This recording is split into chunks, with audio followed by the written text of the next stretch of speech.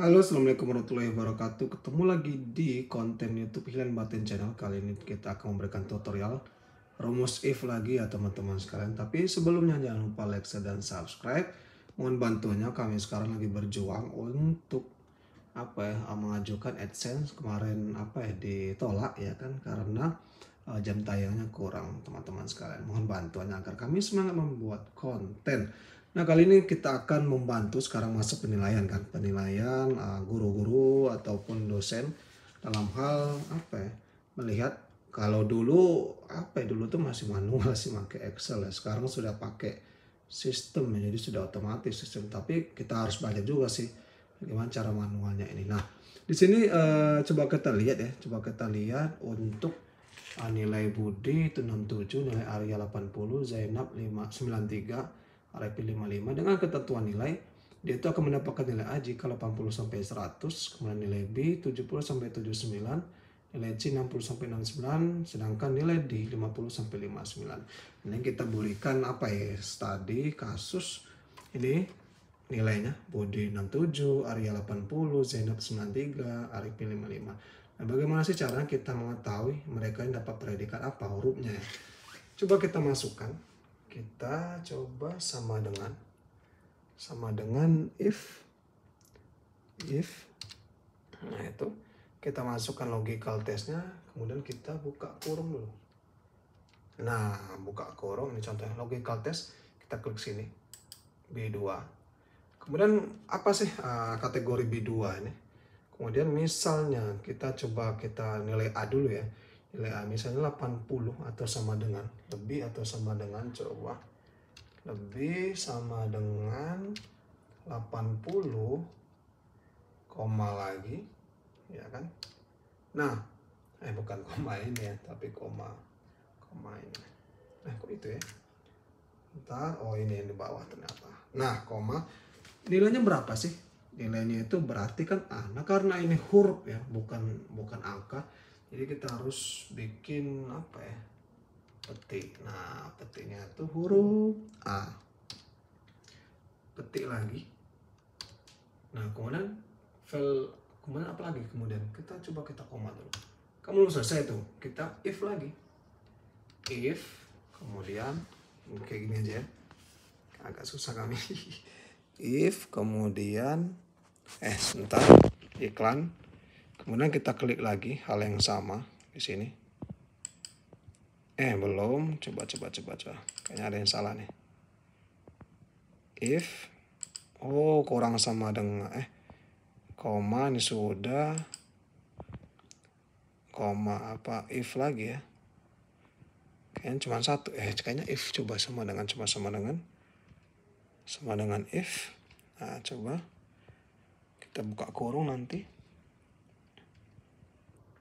kurung dulu kok sudah tutup kurung aja nih nah if logical test lagi ini sama. Kemudian jika lebih atau sama dengan 70 ya. Lebih atau sama dengan lagi sih tar 70 70 nilainya kita koma dulu. Ntar koma B nilainya B kan kalau di persyaratan itu. B oke. Okay. habis itu kita koma lagi karena ada tiga tuh. Uh, sama dengan if. Coba dulu ya. Coba-coba tidak tahu kalau tidak tidak apa tidak berhasil kalau tidak dicoba.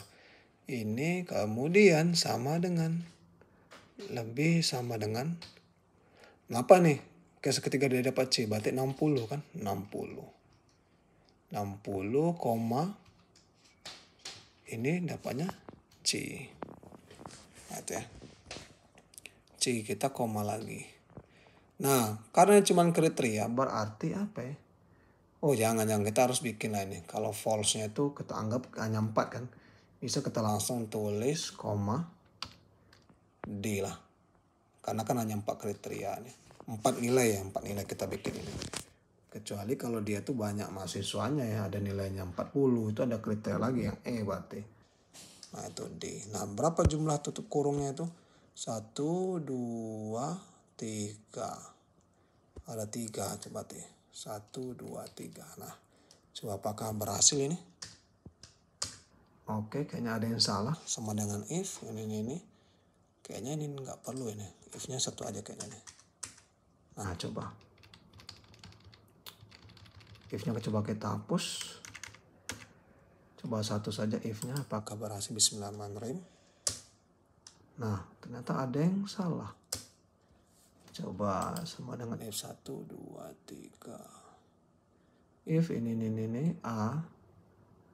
Kemudian koma. Apakah if lagi oh ya kayaknya if lagi nih if kayaknya nggak usah sama dengan nih kayaknya coba coba coba if nah coba apakah benar ini Nah, benar ternyata. C, yes. Dapat kita. C, 67 dengan kriteria ini. Dia di koma if tidak usah sama dengan sama dengan hanya satu di sini ya. If, if, if, if, if. Nah, kalau diceritakan jika B2, ya kan, lebih atau sama dengan 80 nilainya A, jika B2 lebih atau sama dengan 70 nilainya B, jika B2 lebih atau sama dengan 60 nilainya C, selain itu D. Nah ini, coba kita scroll ke bawah. Nah, AD benar kan sesuai kan? Oke, itu saja yang bisa kami. Oh ya, ini bentar belum lagi nih. Ini bisa sih kita apa ya? Uh, bisa kita tulis tuntas atau tidak tuntas. Tapi kita akan lanjut ke konten berikutnya. Terima kasih sebelumnya. Sekian. Wassalamualaikum warahmatullahi wabarakatuh.